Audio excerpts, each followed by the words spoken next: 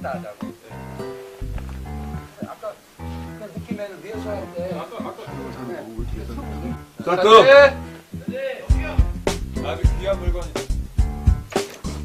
뭘 맡겨? 아이 미친놈아 아파라 워헛 무광하다 어, 지금 승냥이를 구하기 위해서 제가 저작거리에 약을 훔치러 왔습니다. 약 구하러 왔어요. 이거 지금 제가 계속 어, 원나라 병사들한테 쫓기고 있어요. 그래서 계속 쫓기던 와중에 신발도 벗겨주고 그래서 승냥이가 이렇게 처음으로 내줬어요.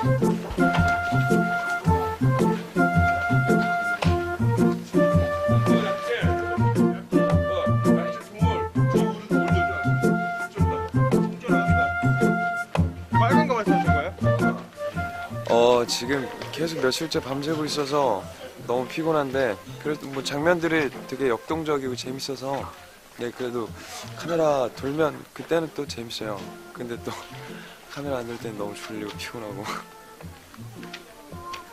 네 화이팅입니다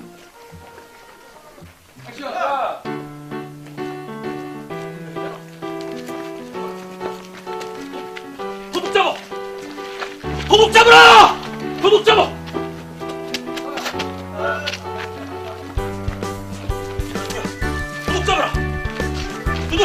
도둑 잡아라!